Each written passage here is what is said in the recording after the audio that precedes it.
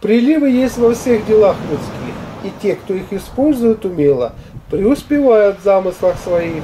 Так говорил Шекспир. Но в том и дело, что вовремя увидеть надо их.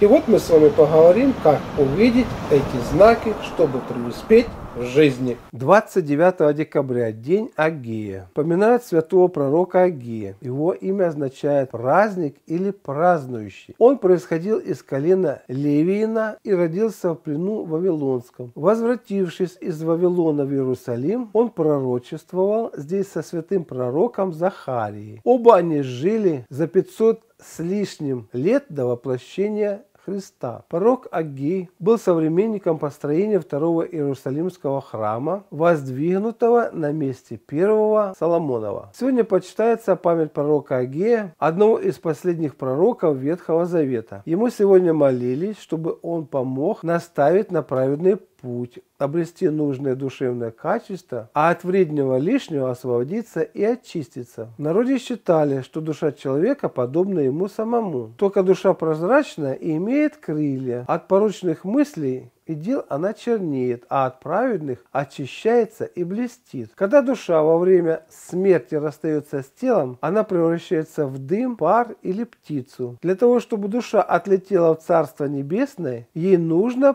помощь покинуть дом. Для этого, когда человек умирал, открывали двери, окна и даже заслонки в дымоходе. Сегодня бросали в костры снежных человечков. Если пламя после этого угасало, то верили, что на святке будет ясная погода. Приметы. Если в этот день на деревьях ини то святки, это время от Рождества до Крещения, будут теплыми. Если сильный мороз, то он простоит до самого Крещения 19 января. Смотрели в этот день и на снег, если он был плотный и мокрый, к лету сырому, если сухой и мелкозернистый, к сухому лету. Мороз рисует узоры на стеклах, и еще будет 20 дней мороза.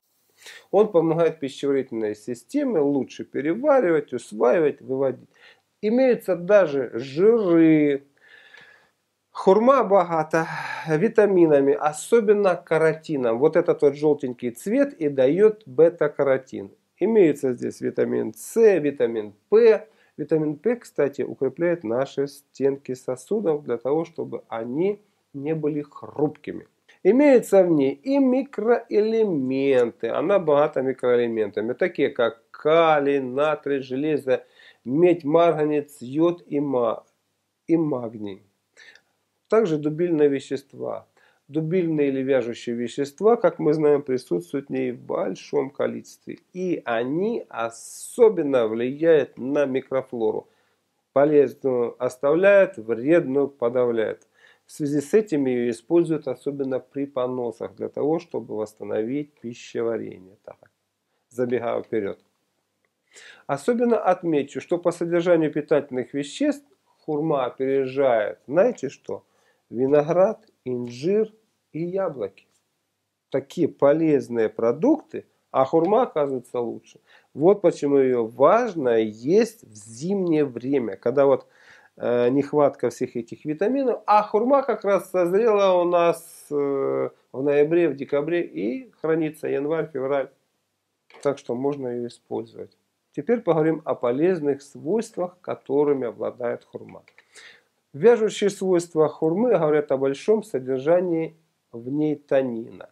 Когда плоды полностью созревают, то вяжущие свойства пропадают вместе с танином. Как я указывал, по питательным качествам хурма близко к инжиру, винограду и превосходит яблоки. Всего три хурмы, которые можно съесть в течение дня, утоляют голод – Поэтому хурму часто включают в различные диеты для того, чтобы у нас э, фигурка наша постройнела. Калорийность хурмы около 53 килокалорий на 100 граммов фрукта, что немного больше, чем в яблоках. Спелые плоды хурмы способствуют улучшению работы желудочно-кишечного тракта, печени, зрения, как я указывал, нормализуют работу кожи и половых желез, чем страдает большинство, большая часть населения россиян. Этот фрукт также способствует задержке роста возрастных новообразований. Он действует примерно так же, как тыква, календула, облепиха, абрикос. Хурма богата витаминами С и П. Поэтому она благотворно влияет на сосуды, снижает их хрупкость и проницаемость. Особенно этот плод врачи рекомендуют больным, которые страдают варикозным расширением вен, а также кровоточивостью десен. Вяжущий привкус способствует тому, что нормализует и сосуды, стеночку, и к тому же он способствует тому, что делает ее более такой плотной, особенно при венозном расширении – когда она становится рыхлой и теряет свою форму. А вяжущий вкус ее приводит в норму. Помните, я говорил, что хурму называли сердечным яблоком. И знаете почему? Потому что она помогает нашему сердцу. В ней содержится много калия. Она вполне может заменить э, такое сердечное лекарство, как волокардин. Если съедать по 2-3 плода хурмы ежедневно, то можно надолго забыть о болях в сердце. Кроме того, как установили ученые, в борьбе с атеросклерозом хурма опережает даже яблоки. Ввиду того, что здесь содержится натрий, калий, магний, кальций, железо.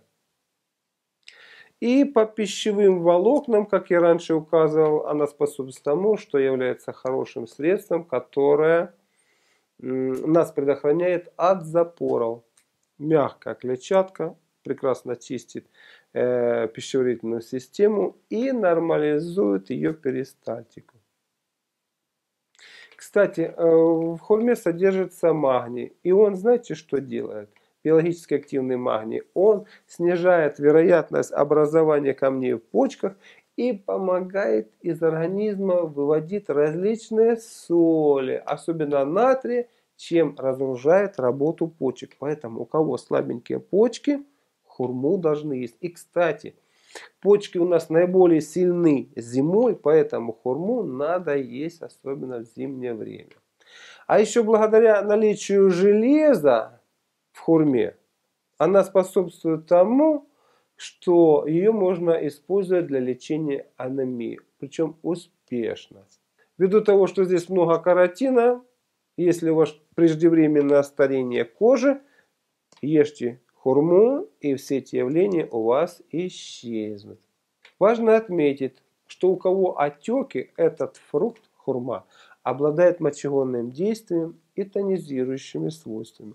Он успокаивает нервную систему, повышает работоспособность, обладает бактерицидным действием в отношении кишечной и сенной палочки, а также, что очень важно, золотистого стафилококка, который вызывает различные нагноения в организме. И там прыщи появляются на коже и прочее.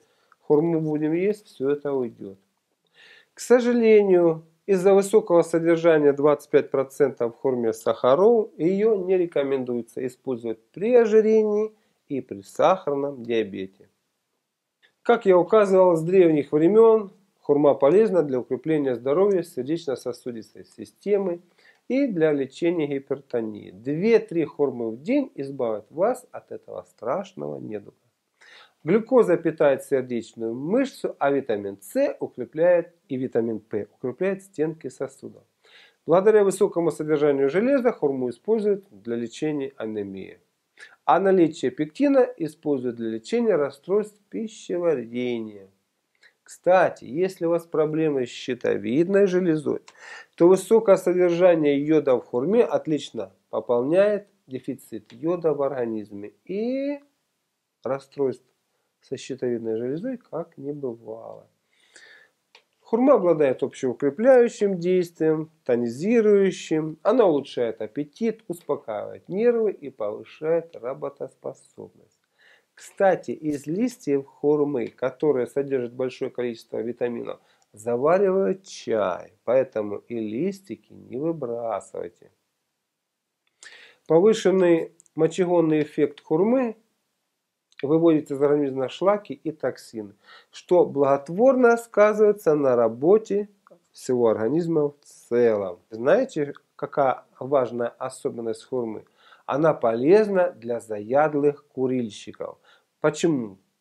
Потому что в ней содержится огромное количество каротина. Вот этот каротин нейтрализует действие никотина. Люди, которые ежедневно едят фрукты и овощи с высоким содержанием каротина, значительно уменьшают риски возникновения рака легких, который особенно распространен у кого? Конечно же, у курильщиков.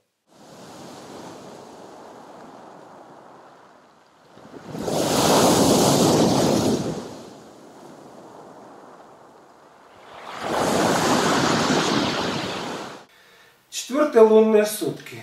Как всегда, после сильных энергетических суток следуют сутки со слабой энергетикой. Это закон. За волной следует отлив.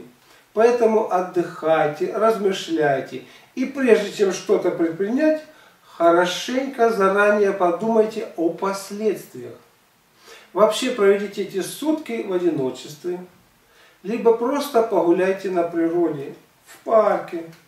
Очень хорошо сегодня петь потому что энергетически активна шея и голосовые связки. Причем петь надо возвышенно, то, что облагораживает и сближает с миром красоты и добра. Естественно, в эти лунные сутки не следует творить злых дел, чтобы они не возвратились к вам. Постарайтесь не застужать горло.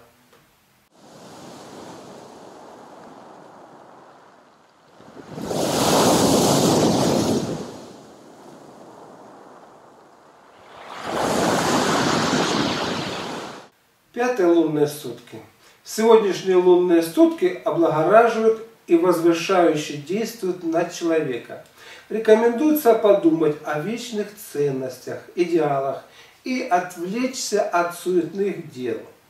Физическую нагрузку сегодня дайте умеренную.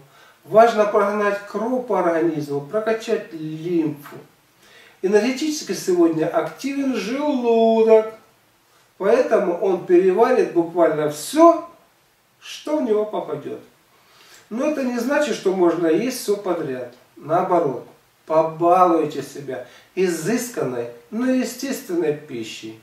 Голодать или делать пищевую разгрузку сегодня не рекомендуется. Раз активен желудок, дайте ему работу. Предпочтение давайте растительной пище. А вот Интимные отношения сегодня не подходят. Воздержитесь от них. Благодарю за просмотр. Если вам понравилось видео, ставьте лайк, звоните в колокольчик и подпишитесь на канал. Ваше участие развивает канал и способствует его продвижению. Доброго здоровья и до новых встреч!